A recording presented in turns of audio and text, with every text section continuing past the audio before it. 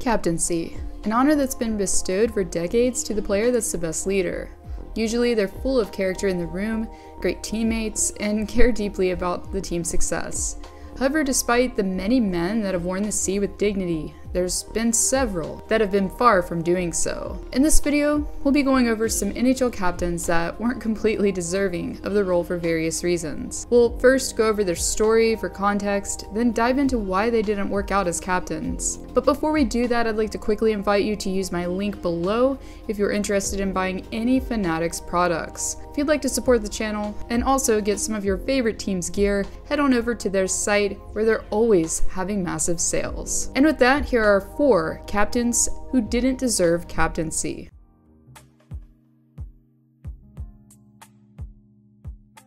Selected second overall by Ottawa in 1992, Alexei Yashin was the first draft pick that the Senators had the pleasure of selecting prior to the team's inaugural campaign. After playing in Russia for a season, Yashin made his way back to Canada's capital, only to learn that he was no longer the only highly touted prospect that the team had.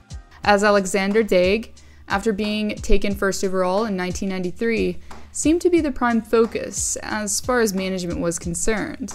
To prove it, Daigle was signed to one of the largest rookie contracts in league history, which was a five year, $12.25 million deal. However, for Yashin, despite outplaying his teammate in his Calder eligible season with 30 goals and 70 points total, it wasn't enough to get a pay raise. Therefore, after management failed to increase his earnings, which were much less, the forward decided to sit out for most of the 95 96 campaign. And it was after this stunt, per se, that Yashin was surprisingly made captain of the team. Even though he did shine, especially for Ottawa in the last two seasons as a Sen, by 1998, Yashin was disgruntled yet again, following the 1997 98 campaign in which he scored 72 points in 82 games played. Yashin yet again demanded a pay raise from his team. Since the 3.1 million he was set to to bring in for the 98-99 season wasn't enough for the forward. He kept lobbying for more. And in response to the stalemate, Yashin eventually requested a trade. This, along with other reasons, was why the Senators decided to give the C to Daniel Alfredsson from there.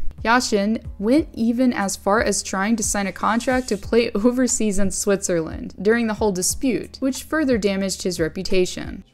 We're here today to announce that um, that the Senators have suspended Alexei Yashin without pay and at this time has no real reason to expect that uh, he'll report to training camp and really can't predict when or if he'll play. Considering that Yashin seemed to put himself first on multiple occasions, this doesn't scream captain material by any means. He abandoned his team, as I mentioned, and attempted to play for another, while technically still under contract with the Ottawa Senators. The whole turn of events made him seem selfish and entitled from a spectator's standpoint.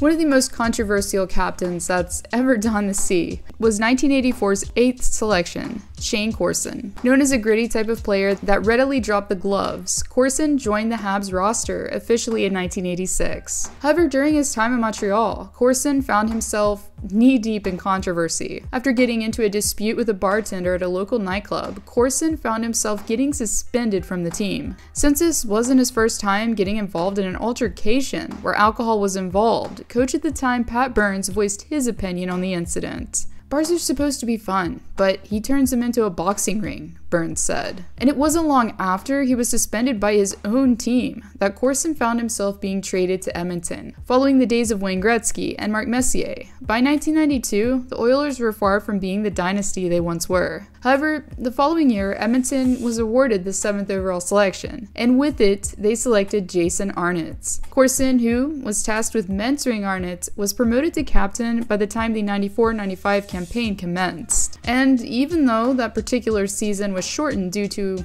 a lockout, it was enough time for Corson to burn some more bridges. According to multiple sources, Corson got in an altercation with Arnott in the locker room after the 20-year-old rookie received an assist point. Corson, who believed he was more deserving than his teammate for the point, lashed out at Arnott in result. Well, this, among other things, was enough for head coach George Burnett to strip his captain of his seat in the end. Burnett, who was originally the one who appointed Corson as captain, was fired the next day by GM at the time, Glen Sather. Corson would go on to continue creating controversy even after he was traded elsewhere.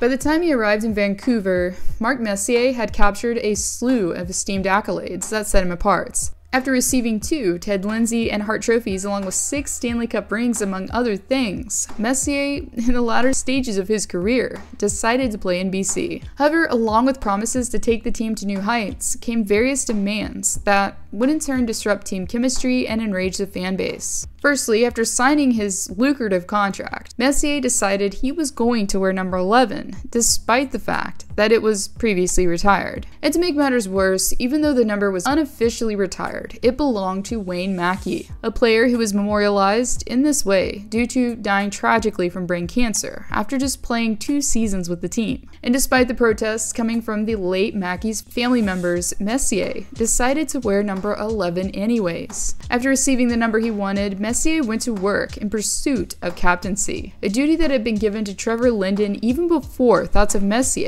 wearing a Vancouver jersey were even thought of. According to multiple sources, Linden felt that Messier's abrupt invasion of the dressing room was rather hostile. After apparent friction became evident between the two, Linden was then shipped off to Long Island to play for the Islanders. While it is and has been a tendency for some teams to appoint the best player on the team as captain, it's not always the best route as it seemed like Messier felt that since he had the pedigree, he deserved to march in and take the C. Besides the fact that he wasn't sensitive to the Wayne Maki situation, this further solidified the case that he wasn't the best choice for captain. And I think his behavior later on substantiated just that. After Messier found himself being bought out due to underperforming, he decided to sue the Canucks for around $6 million in result.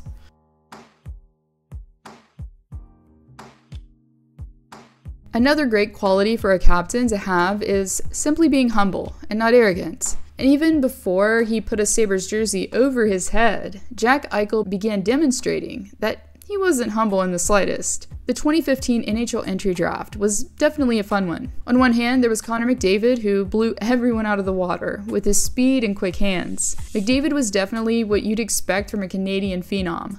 Similarly to Sidney Crosby before him, McDavid was far from boasting about his talents and seemed to defer to a team first mentality. And on the other side of the spectrum, there was Jack Eichel, an exciting player to watch in his own right. Eichel blew into BU with a knack for scoring. While using his size to his advantage, Eichel displayed power and strength that allowed him to protect the puck with ease. Despite the fact that he was ranked second going into the draft, Eichel gave prospective suitors the assurance that he would be better than McDavid in the long run, and that he should be their prime target instead. Sabres GM at the time, Tim Murray, confirmed what reports conveyed by saying, quote, He said that. I think he should say that. Why not say that?